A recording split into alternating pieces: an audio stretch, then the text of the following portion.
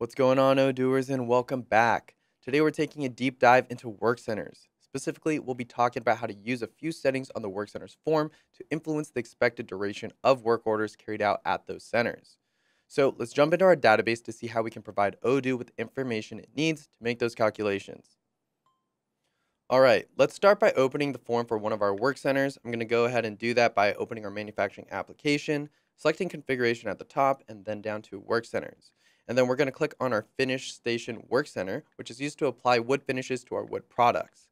Now, we've already covered the fields at the top of the form in our work center basics video. If you haven't watched that one already, be sure to check it out. I'll also leave a link to it in the description below. Today, we'll be focusing on a few of the fields in the general information tab, starting with our production information. First up, we have our time efficiency field.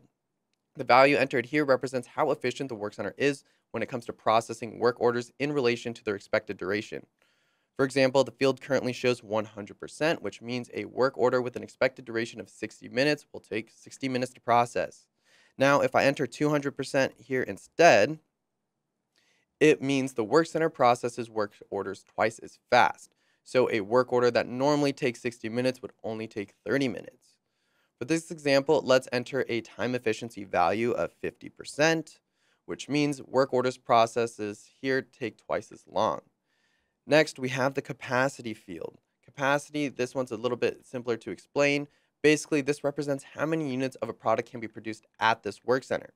So if I enter 5 in the capacity field here, this means this work center could process 5 units of a product at the same time.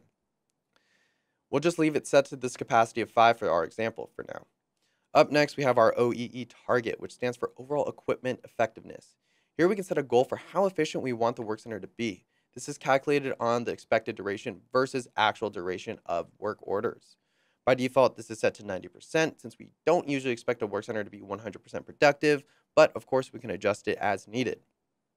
OEE is based on a fairly complicated calculation that we examine in greater detail in our overall equipment effectiveness video, so be sure to check that out for all the ins and outs of OEE. So before we move on to the workflow, I also want to point out two fields here in our costing information section, which is our setup time as well as cleanup time. These fields represent the amount of time needed to set up the work center before processing a work order and how long it takes to clean up after finishing one. Unlike the time efficiency and capacity fields, these are just flat values that are added on the total duration of each work order. So let's say it takes 15 minutes to set up as well as 10 minutes to clean up. And that takes care of all the fields we need to worry about for this work center. Now let's create an MO that requires this work center to process a work order and that will allow us to see how the values we just entered affects the expected duration of the work order. So I'm going to go ahead and select operations, then manufacturing orders, and then select new. Then I'm going to select our bench product in the product field. And this product requires the stain operation, which is carried out at our finish station work center.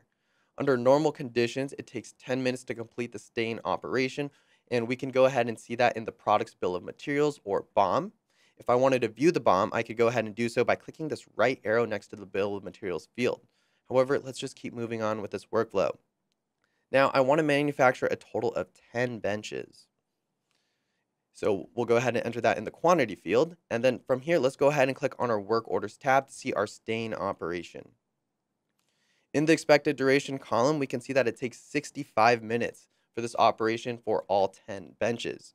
But if it takes 10 minutes for each bench to be stained and we're manufacturing 10 benches, shouldn't the number be 100?